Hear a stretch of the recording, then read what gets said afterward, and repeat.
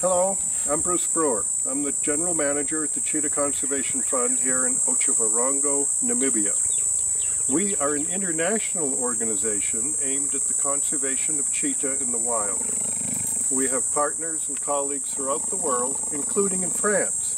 And I'm talking to you today to thank you for your help in supporting us.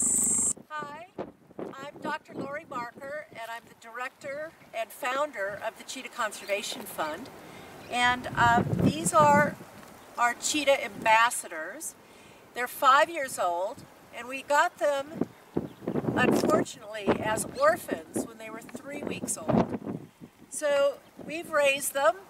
They had to be raised on a baby bottle. With that, it's made them very tame. And we take them um, into the area and let them run for their exercise. But they are standing here with me purring away because they're very content and happy.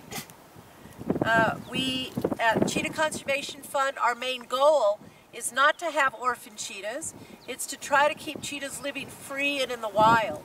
And so most of our work deals with working with the farming community so that they don't have to kill cheetahs, so we don't get orphan babies in, and so that cheetahs can live in the wild for future. Good boys. Good boys.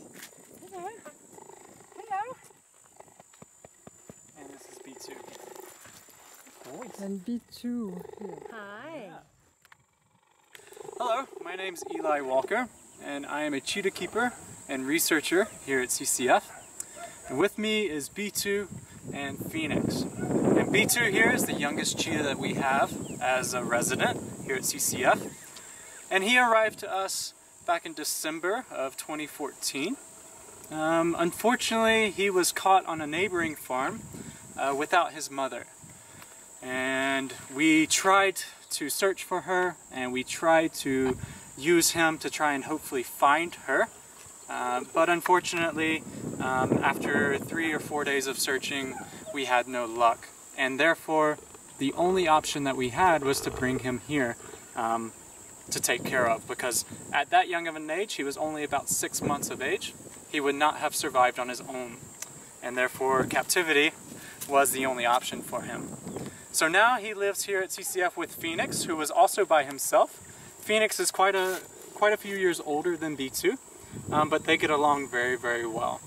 Males naturally in the wild are very social, um, so although they didn't know each other at first, they began to become best friends, and now they're kind of inseparable. Interesting over here. You guys can look each other. Look him.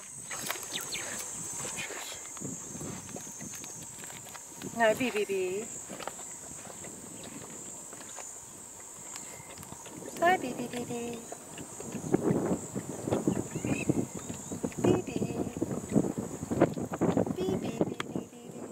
Hi, I would like to thank you, um, the school, which has adopted B2.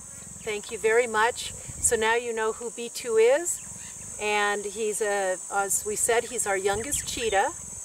And he's just a very, very nice cheetah. Since he didn't have a mom, he's got Phoenix who takes care of him. And the two of them are very best friends.